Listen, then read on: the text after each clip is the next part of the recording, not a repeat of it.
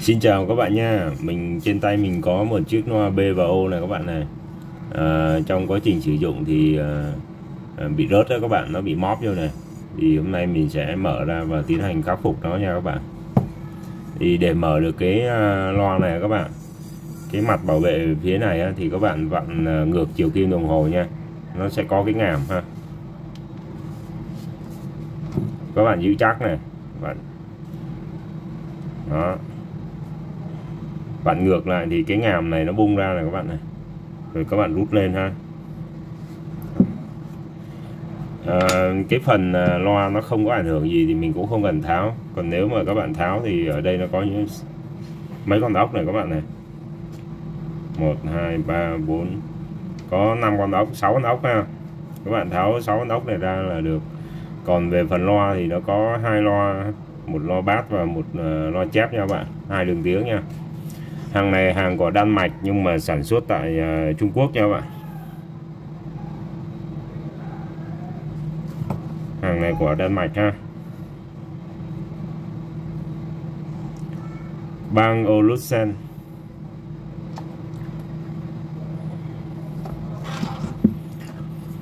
À, vì cái ờ, này là chất liệu bằng nhôm các bạn khá là cứng. À, để mình gò được cái này á, thì các bạn ờ, tuyệt đối là không sử dụng cái ờ, đồ bằng sắt ha. Bằng sắt mà cứng á, các bạn gõ nó sẽ bị móc móp thêm các bạn. Thì các bạn ờ, tốt nhất là dùng cái búa cao su á.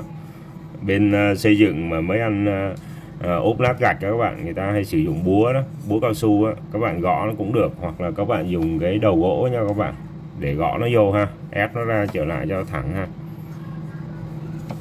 Rất tiếc là bị móp.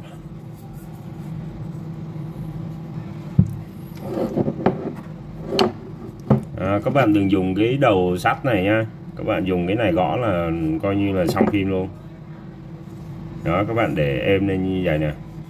Rồi mình sử dụng cái à, phần à, phần gỗ này các bạn. Gõ nha.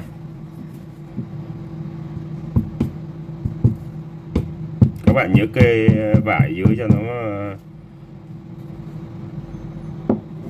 kê vải dưới ha cho khỏi chảy cái này ha.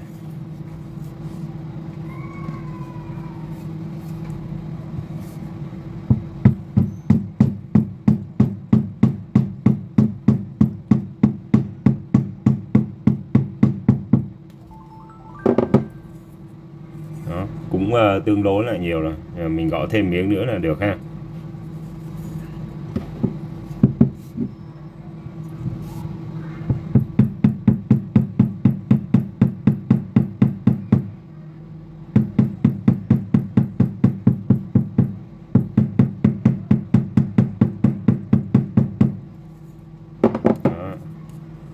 Đó, 90 phần trăm rồi. Còn chút xíu xíu nữa. Dưới bên đây một ít nữa nha các bạn.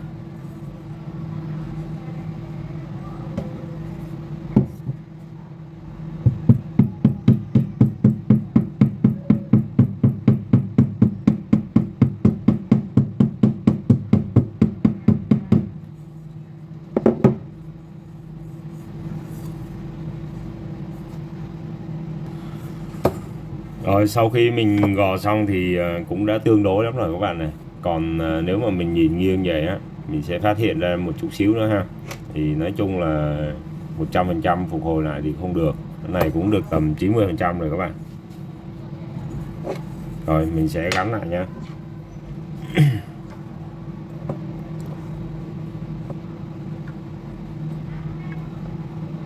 Ở đây nó có những cái ngàm nhỏ đó các bạn này.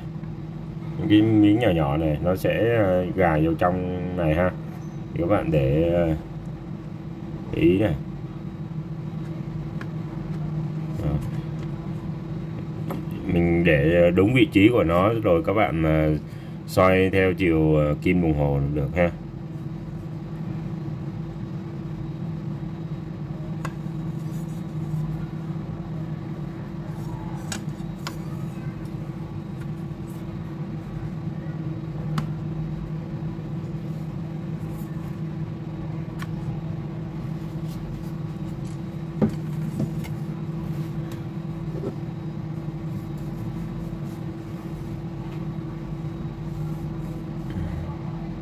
Đây vị trí này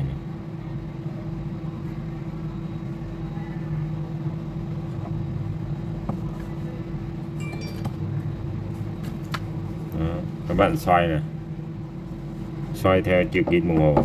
Đó rất là chắc chắn này ha. Rồi cảm ơn các bạn đã xem video của mình. Có thắc mắc ờ, gì thì các bạn để dưới phần bình luận giúp mình nhé. Xin chào tạm biệt các bạn.